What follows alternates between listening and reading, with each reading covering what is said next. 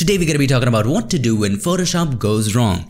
Whether a tool is not working right or something is acting strange and Photoshop is not behaving the way it should and probably you've done something that you don't know what you have done and you want Photoshop back in the shape the way it came installed. Probably you might want to reset the preferences file. Now if it's a workspace problem, that might not be the case. So for example, here we in Photoshop and suppose everything is messed up. So let's mess up stuff. So everything is here and there around and nothing is right. Okay. And the toolbar is gone probably and you want it back. In that case, you might not have to reset the preferences. In that case, simply just go to Windows, Workspaces, Essentials or whatever workspace you have saved and reset workspace and it will reset itself again. Okay, so if you have not saved any workspace, just go to Windows, Workspace, and then Essentials, and just reset the Essentials. Even if Essentials is not working right, Workspace again, and then click on Reset Essentials. So it will come just the way Photoshop came in when you first installed it.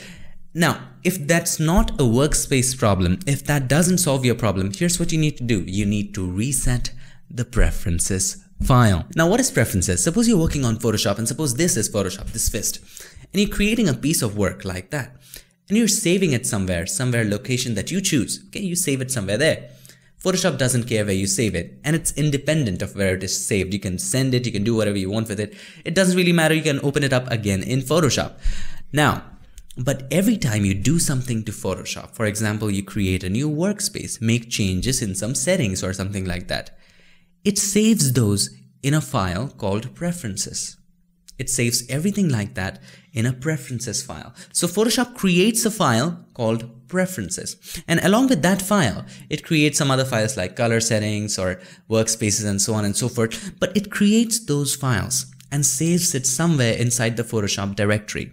Okay.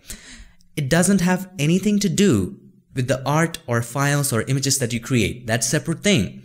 But every time you do something with Photoshop, some change in settings and so on and so forth, it gets stored in these files. Now accidentally we might have made changes to these files, these preferences color settings files, which is undesirable to us. Also, it might be a cause of a bug or a virus. Whatever the reason is, we can reset the same.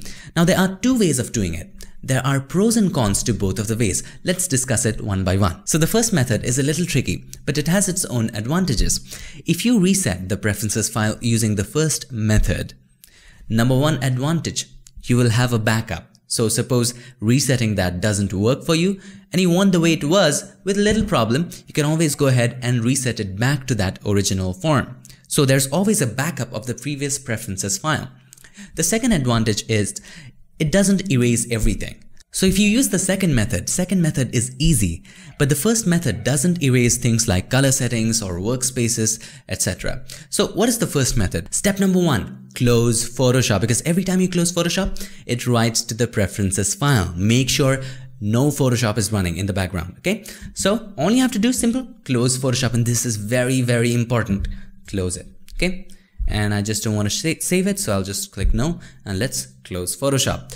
Now what you have to do, you have to find these locations. For Mac, the location is this. For Windows 7 and XP, the locations are given on this screen. Now inside of those locations, you'll find something called the preferences file and you have to move that file. For Windows 10, I'm going to show you how to do the same. And now, one more thing. If you're using a Mac, the file might be hidden. The folders might be hidden, the library folder especially. So you might have to unhide it. For Windows 10, I'm just going to show you what to do. So it's in C, users, whatever your username is, go to that username and there's a folder called app data.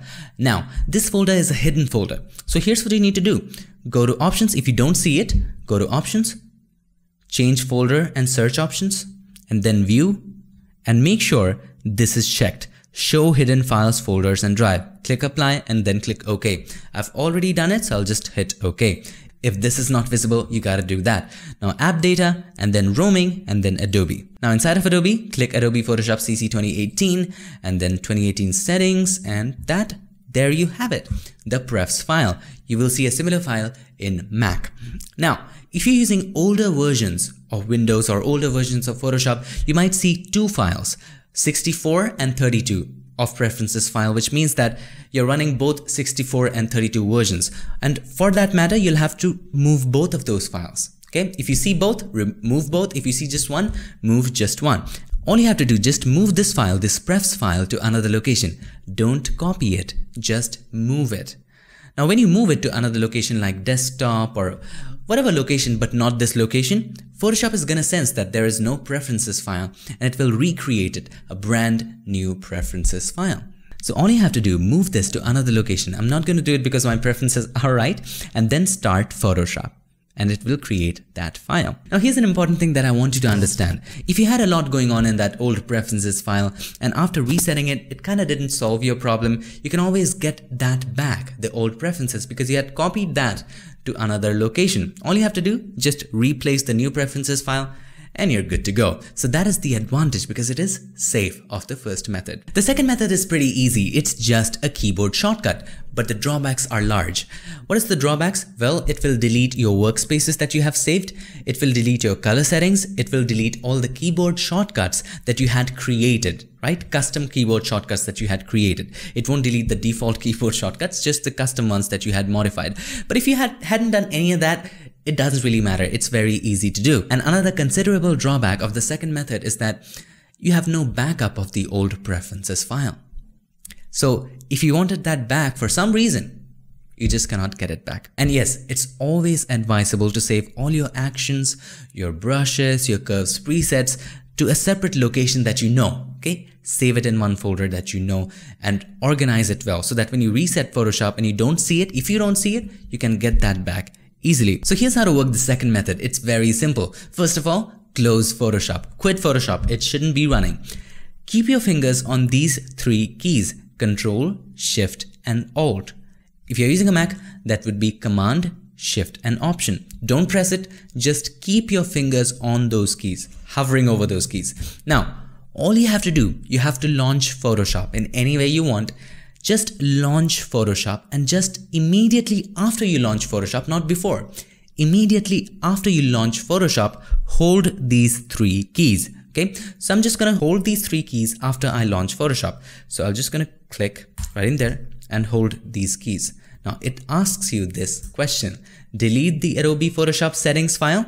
Click yes if you want to reset that, but I don't want to do it. So I'm just going to go ahead and click no. And that's how you work the second method. And by the way, if the dialog box doesn't show up, you might have to try it again. Close Photoshop, keep your fingers above those buttons, launch Photoshop. Just when you launch Photoshop, just immediately after that, hold those keys.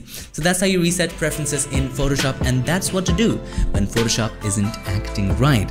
I hope this video helped you and if it did, make sure to give us a like and also don't forget to subscribe and not just subscribe, ring the bell so that you my friend don't miss a thing. I'll see you guys in my next one. Till then, stay tuned and make sure that you keep creating.